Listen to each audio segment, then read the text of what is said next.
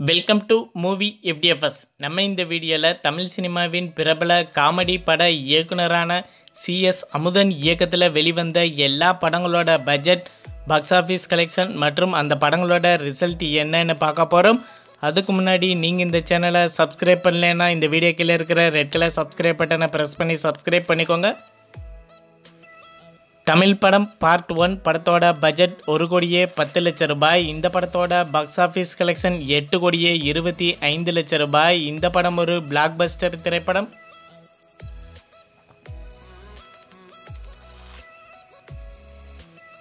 தமிழ் படம் part two படத்தோட budget நாலு கோடியே இருபத்தி ஐந்து லட்சம் ரூபாய். இந்த படத்தோட பாக்ஸ் ஆஃபீஸ் கலெக்ஷன் இருபத்தி ஆறு கோடி ரூபாய். இந்த படம் ஒரு பிளாக் பஸ்டர் திரைப்படம்.